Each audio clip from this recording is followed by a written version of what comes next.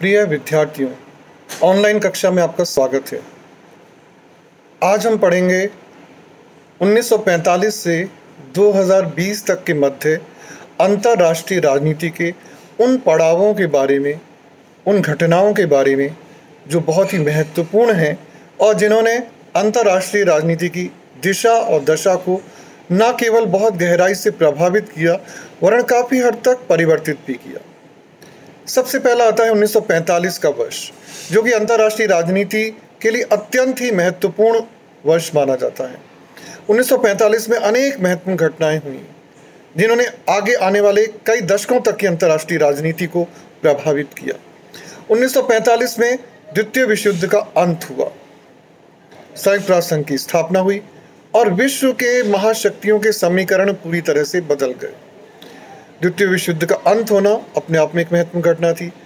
24 अक्टूबर 1945 को यूएनओ की स्थापना, वो भी एक बहुत ही महत्वपूर्ण घटना थी। अमेरिका द्वारा हिरोशिमा और नागासाकी पर परमाणु बम का प्रयोग, उसने भी विश्व को बहुत गहरे तक प्रभावित किया। और सबसे महत्वपूर्ण बात यह हुई कि अभी तक जो राष्ट्र अत्यंत शक्तिशाली थे जैसे कि जर्मनी, ब्रिटेन, फ्रांस, वो कमज़ोर हो गए। और विश्व में दो नई महाशक्तियों का प्रादुर्भाव हुआ, संयुक्त राज्य अमेरिका और सोवियत संघ।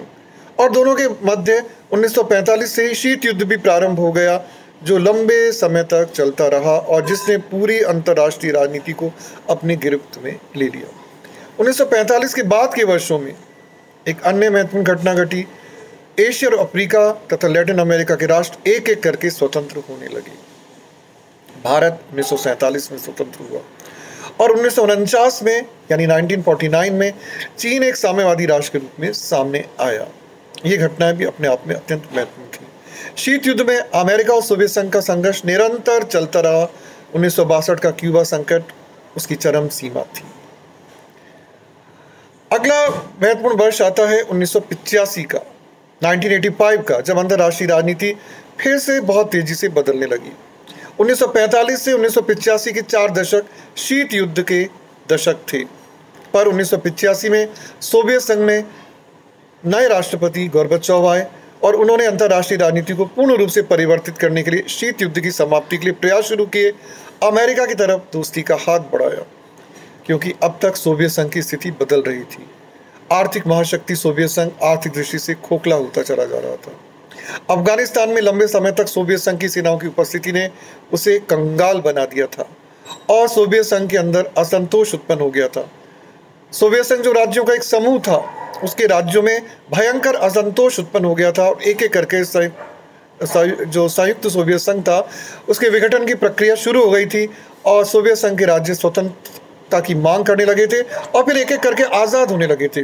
और सोवियत संघ का ये विघटन उन्नीस में पूर्ण हो गया था, जब सोवियत संघ पूरी तरह से टूट गया और सोवियत संघ नाम का राष्ट्र विश्व के नक्शे से लुप्त हो गया और उसका स्थान सोवियत रूस ने लिया उसके उत्तराधिकारी के रूप में।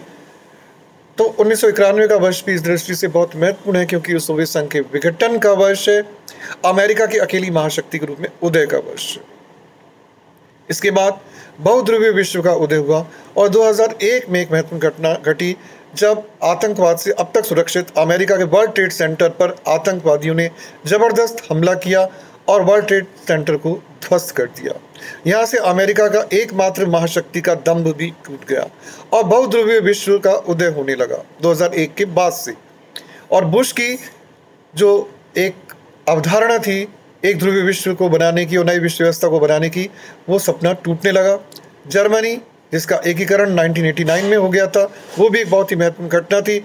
एक नए शक्तिशाली राष्ट्र के रूप में उभरा।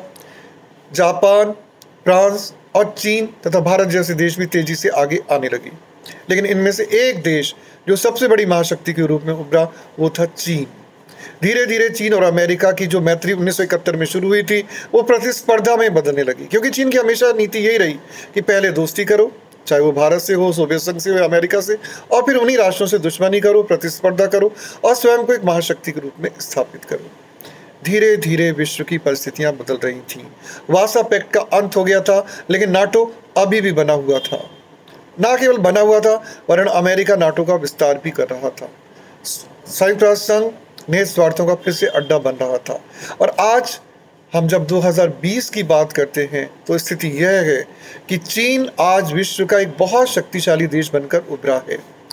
आज ही अमेरिका के राष्ट्रपति ट्रंप ने चीन पर आरोप लगाया है कि चीन के वायरस के कारण ही, कोविड 19 के कारण, कोरोना वायरस के कारण आज एक सौ अट्ठासी देशों में मानव जीवन खतरे में पड़ चुका है।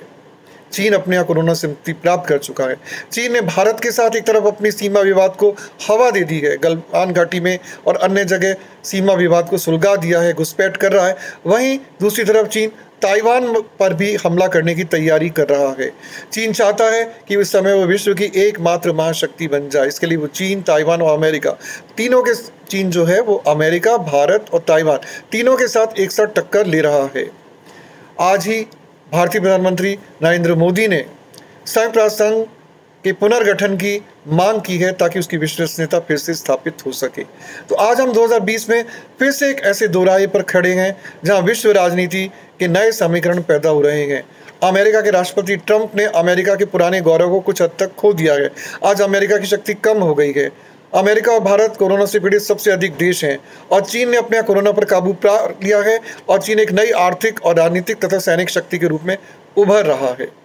एक बार विश्व फिर दोराहे पर खड़ा है और आने वाले जो वर्ष हैं, वो अंतर्राष्ट्रीय राजनीति के लिए अत्यंत ही महत्वपूर्ण सिद्ध होंगे, जिनमें ये तय होगा कि अब विश्व की महाशक्ति कौन है। यह अभी भी प्रश्न है कि अमेरिका अपना वर्चस्व कायम कर पाएगा या चीन पूरी तरह से उस पर हावी हो जाएगा? भारत की क्या स्थिति रहेगी? इन सारे प्रश्नों का जो उत्तर है, वो आने वाले समय के गर्भ में है। आज के लिए इतना ही। धन्यवाद।